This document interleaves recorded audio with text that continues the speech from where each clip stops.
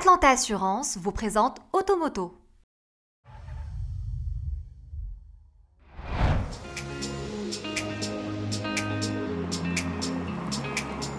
Aussitôt lancé, en 2011, le Duke s'est imposé en vertu de ses nombreux atouts stylistiques et pratiques, endossant ainsi le rôle de crossover urbain à succès.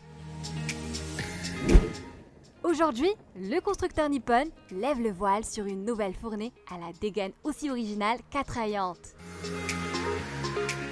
Décontracté, le nouveau-né arbore de volumes arrondis, soulignés de traits tendus.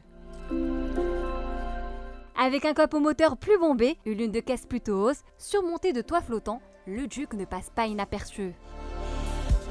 Certes, l'inimitable silhouette de son prédécesseur est bien préservée, mais le nouveau coup de crayon lui procure un aspect original.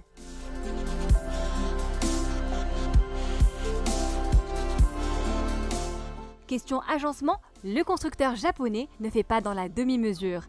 La planche de bord, aux formes minimalistes, chargée de boutons au milieu, laisse désormais place à une autre de bien meilleure facture. Celle-ci se distingue par des moulures saillantes qui dénotent d'une certaine robustesse. Ergonomique, l'écran tactile 8 pouces qui surgit au centre de la planche donne la possibilité de gérer l'interface Nissan Connect. Le Juke ne grandit pas seulement à l'extérieur, mais aussi à l'intérieur.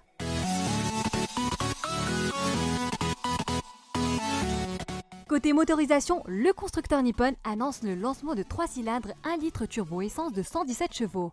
Ce bloc s'associe au choix à la boîte manuelle 6 rapports ou à la transmission automatique 7 rapports et à double embrayage avec palette au volant. De nouvelles motorisations sont prévues dès le début de l'année prochaine, notamment le 1,5 DCI.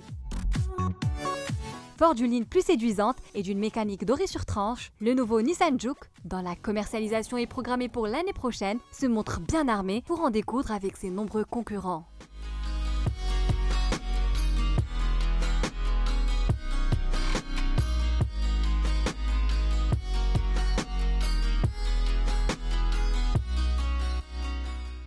Automoto vous a été présenté par Atlanta Assurance.